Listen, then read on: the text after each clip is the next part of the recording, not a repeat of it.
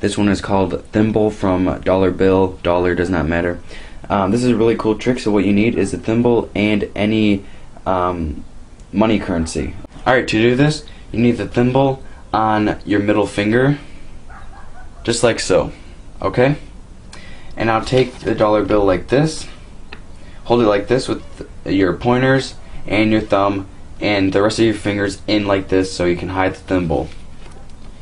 Okay, so showing it like this is what the spectators will see. Alright, so you just show it like this, and then you can just show the other side.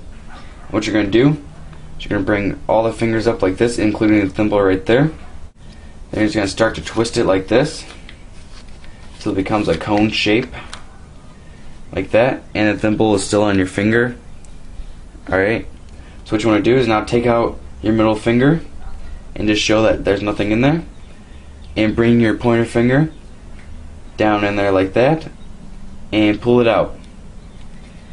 And then you can show the dollar and thimble. Everything's examinable.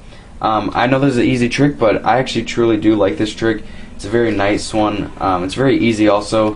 So I really hope you guys like this video. If you guys did, give this video a thumbs up, share with your friends on Facebook and Twitter, and I'll see you guys next time.